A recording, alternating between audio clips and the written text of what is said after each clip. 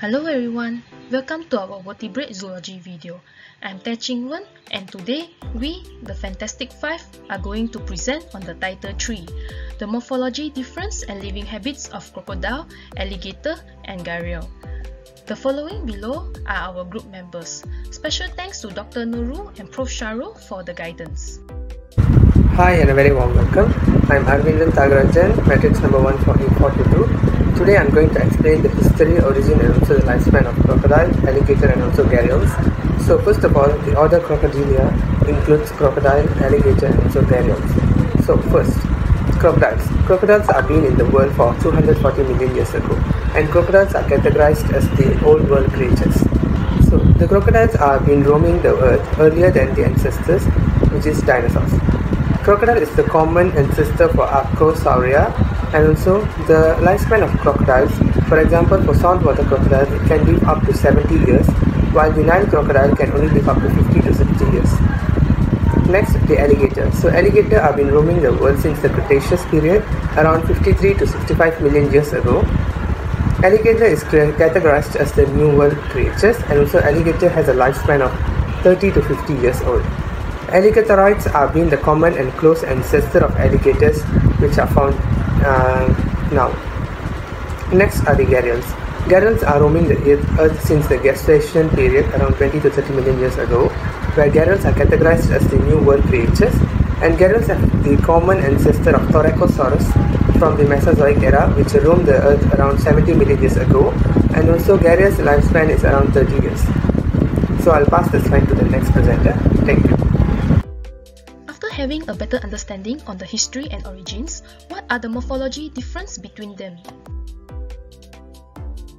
The Crocodile order can be differentiated by their length, weight, and average speed. They undergo a dramatic increase in size from hatchling to adult.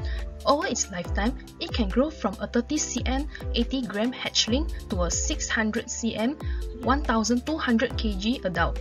A 24 increase in length and 15,000 fold increase in weight. Crocodiles can grow up to 6 meters and weighs up to a ton, with an average speed of 30 kilometers per hour. Alligators have almost the same length of a crocodile, but they weigh less than them, which is only up to 450 kilograms, and travel at 32 kilometers per hour. Gharial is the shortest among them. They are only 5 meters in length after reach maturity, but can reach up to a ton, which is similarly to a crocodile's weight. Gharial's highest speed can only reach up to 24 km per hour. We can also differentiate them by their colors and scale patterns.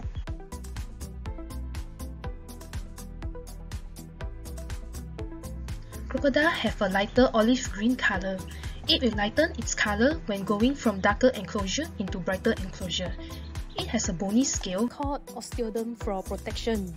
The ventral side of the body has smooth and rectangular plates covering it. Alligators are darker compared to crocodiles. They are normally blackish grey in color. Their scales are oblong, horny plates covering their entire body, arranging in transverse rows. A fun fact on this order, their eyes can glow in the dark similarly to a cat's eyes. Next is the gharial. They are normally light olive, tan, or combination of both colors. Gharial will turn darker from dark enclosure to lighter enclosure, which is totally the opposite of crocodiles. They have a thick skin covering on the smooth epidermal scale that do not overlap. All members in this order also consist of porous scale, which is homologous to the lateral line of fish. That's all from me. I will pass the slides to the next person. Thank you. Thank you. I'm Wong Holung with metric number 148930. Now, I will describe other morphological differences for the crocodiles, alligators, and also the gharial from the jaw shape, bite force, and also the teeth placement. So now let us look at the jaw shape. The jaws of the crocodiles and alligators look similar and are more difficult to distinguish among them. So we can observe that the crocodiles have the long and pointer V-shaped nose which are used to feed on a variety of prey, while alligators have round and broad U-shaped snouts used to break the bones and also the shells. The jaw of the gharial is the easiest to identify by its distinctly long and thin jaws. The jaw is adapted to catch the fish quickly. Next, the crocodile can exert the most powerful bite of 3,500 pounds per square inch. The following one is the alligator. It exerts 2,900 pounds per square inch. Then the gharial exerts the weakest bite force of 1,006 pounds per square inch. Lastly, we look the teeth placement.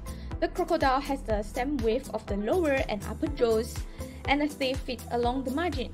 The upper teeth interlock with the lower when the crocodile closes its mouth, so the lower jaw teeth are not visible when the mouth shuts. Next, we look the alligator. Alligator has a wider upper jaw that overlaps the lower. It overlaps the lower. So the teeth in the lower jaw fit perfectly in the sockets of the upper jaws when the alligator closes its mouth and the alligator has the blunt teeth. Okay, now we see the gharial. The teeth at the front jaw are the largest since they are used for grasping the prey, especially the fish. And gharial has the sharp teeth. So that's all from me, thank you. Now I will pass to my friends. Kavin Bugila 146970 will be sharing about the differences in lingual salt glands and integumentary sense organs between crocodiles, gharials, and alligators. In crocodiles and gharials, the salt-excreting glands are located on the tongue immediately below the lingual epithelium and are responsible for the excretion of sodium and chloride ions. The salt glands appear as 20 to 40 distinct pores on the posterior half of the lingual surface. Lingual salt glands, are the modified salivary glands on their tongues, which are used for excreting excess salt ions from their bodies. As for the integumentary sense organ, which is an evolved multisensory organ which contain multiple pools of sensory neurons. This transformation of a diffuse sensory system, which has allowed to evolve a highly armored yet very sensitive skin. The integumentary sense organ in the skin acts as a sense organ because the epidermis, dermis and the hypodermis contains specialized sensory nerve structures that detect touch, surface temperature and pain. It is full of nerve endings that are ex exquisitely sensitive to pressure and vibration, even more sensitive than human fingerprints. Now let's compare and contrast the differences present in crocodiles, alligators and gharials between lingual salt glands and integumentary sense organs. As for the lingual salt glands, gharials and crocodiles are distinguished from alligators by the presence of salt glands on their tongues. Although alligators have the same structures, they are no longer useful because they can no longer secrete salt. Crocodiles and gharials with salt glands are more tolerant of saline water. Besides, saltwater crocodiles can dwell near the coast for extended periods of time before venturing into the ocean in search of food. Alligators love freshwater bodies and can only survive in saltwater environments for a limited period of time. As for the integumentary sense organs, alligators and crocodiles have microscopic sensory pits around their lower and upper jaws that detect pressure changes in the water and aid in the detection and capture of prey. For crocodiles, they have these sensors all over their bodies, whereas alligator and gharials only have them in their jaws. According to research, these receptors are involved in chemical reception and salinity detection. They help differentiate the skin of alligators and crocodiles regardless of their function. Thank you. My name is Li Xiaojie. I'm going to talk about the living habitat of crocodile, alligator, and gharial.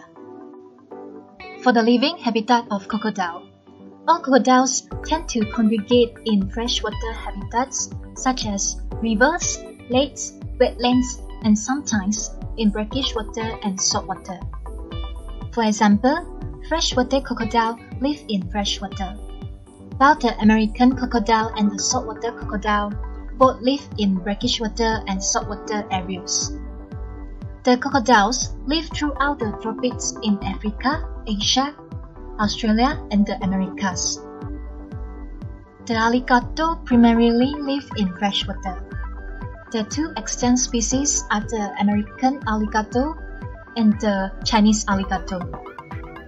The American alligator live in freshwater environments such as ponds, marshes, wetlands, rivers, and lakes. Majority of them inhabit Florida and Louisiana. The Chinese alligator usually chooses low-altitude sites rich in fresh water, such as marshes, lake ponds, and streams as its habitat. The Chinese alligator currently is found only in the Yangtze River Valley and parts of adjacent provinces.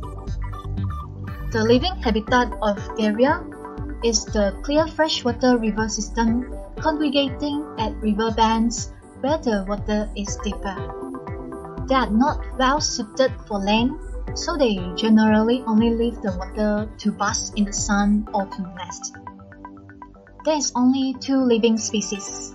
The Indian Gharial, which found in India and some surrounding areas, and the False Gharial in Southeast Asia. Finally, uh, let's move into the conclusion part. Researchers believe that these animals share a common ancestral origin, but they are separated by over 40 million years of evolution. Therefore, the foregoing characteristics are very obvious physical disparities between these three reptiles. There are, however, innate distinctions between such as behavior. Freshwater crocodiles are the most violent of these reptiles, while alligators, saltwater crocodiles, and gharials are more submissive. However, environmental factors such as temperature, habitat, and the presence of other animals also influence reptile behavior and their activities. Thank you.